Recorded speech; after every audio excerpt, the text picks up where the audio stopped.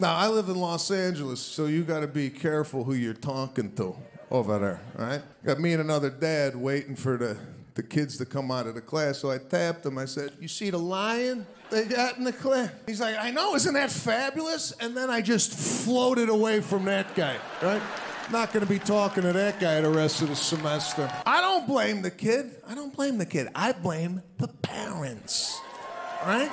Listen, kid probably came down in the morning dressed as a lion. I'm a lion, mommy. I'm a lion, daddy. And the idiot parents like, oh, he's a he's a lion now. Well, come on, let's go to school, lion.